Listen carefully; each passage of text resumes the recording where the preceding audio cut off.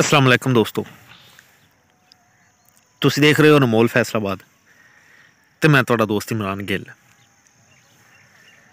ਸਭ ਤੋਂ ਪਹਿਲੇ ਸਾਡੇ ਚੈਨਲ ਨੂੰ ਕਰੋ ਸਬਸਕ੍ਰਾਈਬ ਔਰ ਨਾਲ ਹੀ ਬੈਲ ਆਈਕਨ ਦਾ ਬਟਨ ਦਬਾਓ ਤਾਂ ਸਾਡੀ ਹਰ ਨਵੀਂ ਆਉਣ ਵਾਲੀ ਵੀਡੀਓ ਤੁਹਾਡੇ ਤੱਕ ਆਸਾਨੀ ਨਾਲ ਪਹੁੰਚ ਸਕੇ ਅੱਜ ਮਾਸ਼ਾਅੱਲਾ ਜੁਮੇਰਾਤ ਦਾ ਦਿਨ ਔਰ ਬਹੁਤ ਕਮਾਲ ਦੀਆਂ ਝੋਟੀਆਂ ਮੱਝਾਂ ਤੁਹਾਡੇ ਵਾਸਤੇ ਲੈ ਕੇ ਆਇਆ ਦੋ ਪਾਰਟ ਦੇ ਵਿੱਚ ਵੀਡੀਓ ਵਾ ਪਾਰਟ ਨੰਬਰ 1 ਦੇ ਵਿੱਚ ਜਿਹੜੀ ਪਹਿਲੇ ਨੰਬਰ ਤੇ ਝੋਟੀ ਆ 5.5 ਤੋਂ 6 ਮਹੀਨੇ ਦੀ ਗੱਭਣ ਕਤਰੀ ਕਤਰੀ ਸਿੰਗੀ ਔਰ ਸਫੇਦ ਮਾਨਕੀ ਬਿੱਲੀ ਅੱਖ ਕੁੰਡਾ ਚੂਰ ਸਿੰਘ ਮੱਥਾ ਸਫੇਦ ਤੁੰਨੀ ਕੋਲੀ ਦਾ ਨਿਸ਼ਾਨ ਤੱਕ ਕੋਈ ਨਹੀਂ ਔਰ 1 ਲੱਖ 80 ਹਜ਼ਾਰ ਰੁਪਏ ਦੀ ਕੀਮਤ ਆ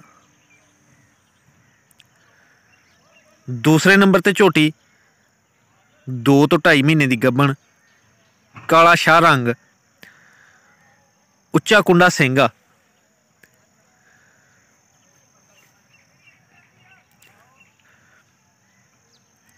ਔਰ ਬੜੀ ਬਰੀਕ ਧਾਗੇ ਵਰਗੀ ਪੂਛਲ। ਦੋ ਤੋਂ 2.5 ਮਹੀਨੇ ਦੀ ਕਨਫਰਮ ਡਾਕਟਰ ਦੀ ਪਾਸ ਗੱਬਣ। 1 ਲੱਖ 60 ਹਜ਼ਾਰ ਰੁਪਏ ਦੀ ਕੀਮਤ।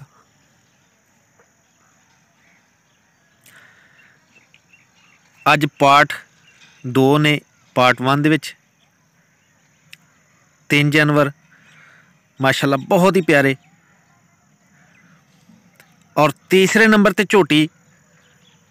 ਪੂਰੇ ਜਿਸਮ ਤੇ ਗਿੱਠ ਗਿੱਠ ਪਸ਼ਮ।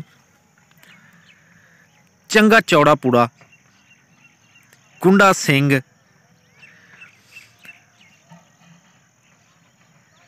ਇਹ ਝੋਟੀ ਵੀ 2.5 ਮਹੀਨੇ ਦੀ ਗੱਬਣ ਡਾਕਟਰ ਦੀ ਪਾਸ। ਇਹ ਗੱਬਣ ਝੋਟੀ।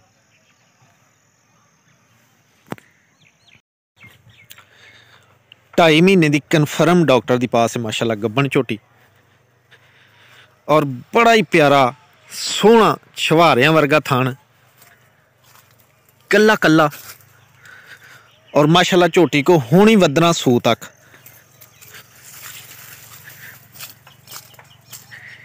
ਇਸ ਝੋਟੀ ਦੀ ਡਿਮਾਂਡ